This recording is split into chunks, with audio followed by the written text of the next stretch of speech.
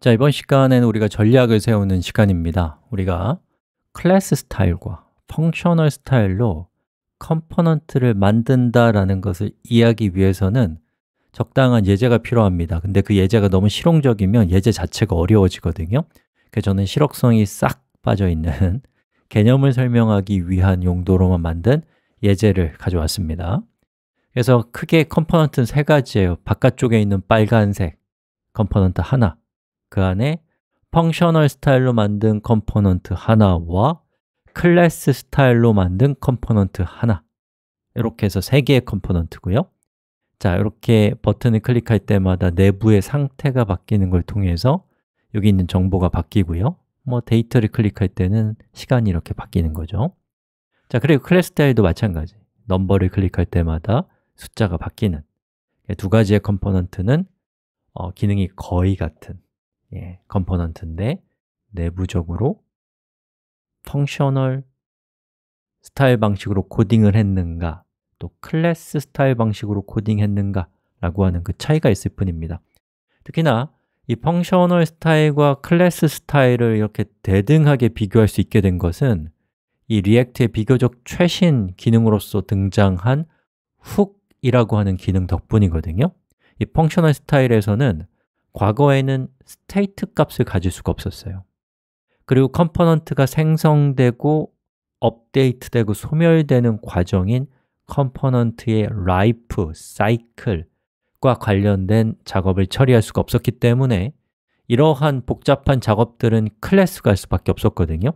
그런데 이 hook이라는 것이 등장하면서 functional에서도 이런 식으로 뭐 이해하려고 하지 마시고요 지금은 state를 처리할 수 있게 됐고 이런 식으로 어, life cycle을 관리할 수 있게 되었습니다.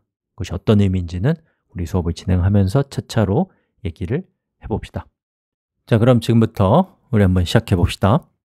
자, 그럼 저는 개발 환경을 먼저 세팅을 하겠습니다. 새로운 폴더를 만들고요. Npx create react app을 통해서 현재 directory에 React 애플리케이션 구현 환경을 구축을 했습니다. 자, 그리고 시작을 해야죠. npm start. 자, 애플리케이션, 샘플 애플리케이션을 구동을 시켰고요. 거기서 이제 필요 없는 부분들은 또 걷어내겠습니다. index.css의 내용을 없애버렸고 app.css의 내용도 없애버려서 이렇게 깔끔한 모양이 화면에 나타도록 했습니다. 자, 그리고 index.js 말고 app.js에서부터 저는 편집을 진행해 보도록 할게요. 자, logo.svg 필요 없고 그리고 여기 있는 이 코드도 필요 없으니까 자, 여기 불필요한 코드들은 제가 다 날려버리고 깔끔한 상태로 출발을 할 겁니다. 자, 이렇게 했고요. World가 화면에 뜨죠? 자, 그럼 기본적인 어, 예제의 레이아웃을 좀 짜보겠습니다. 자, 저는 app.js로 들어가서 여기에서 어, 코드를 어떻게 할까요? 자, 일단은 저는 여기에 두 개의 component를 갖다 놓을 거예요. 하나는 FuncComp 즉 function 방식으로 만든 component고요. 하나는 ClassComp 이거는 뭐 클래스 방식으로 만든 component를 만드는 것이죠. 자, 우선 함수 방식으로 component를 만들 때는 코딩을 어떻게 해야 되나요? 제가 빠른 속도로 한번 해보도록 하겠습니다.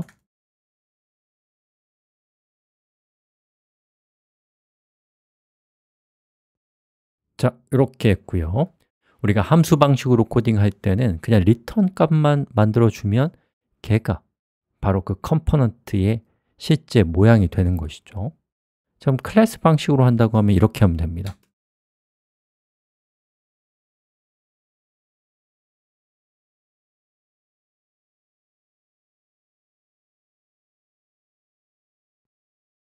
이렇게요.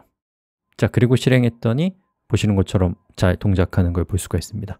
자, 이거 조금만 바꾸죠. H1으로 얘를 바꾸고 얘도 h1으로 바꿨고요. 여기도 컨테이너로 예제를 좀 바꿨습니다. 자, 보시는 것처럼 이 함수로 component를 만들 때는 return을 하면 되고요. class로 component를 만들 때는 render라고 하는 이름의 함수. 다시 말해서 method를 정의해서 걔 return 값이 결국에는 UI가 되는 겁니다. 즉 클래스 방식은 render라는 함수 function 방식은 자기 자신이 render 함수인 거죠 자, 그럼 우리는 여기 있는 이 두 개의 서로 다른 스타일을 그 같은 목적을 향해서 그 나아가면서 서로 어떻게 다른지를 비교하면서 앞으로 나가도록 하겠습니다 한 가지만 더 정리하고 갈까요? UI 그림을 조금 디자인을 좀 넣고 들어가면 더 좋을 것 같아요 자, 저는 app.css 파일을 열어서 컨테이너라는 이름의 그 태그에 보더를 5픽셀, 솔리드, 레드로 이렇게 줬고요. 조금씩 떨어질 수 있게 마진을 5픽셀 줬고요. 마진이 아니라 마진이죠. 자, 그 다음에 패딩 값을 5픽셀 정도 줘서 조금 더 보기 좋도록 정리하고 다음 시간으로 넘어가도록 하겠습니다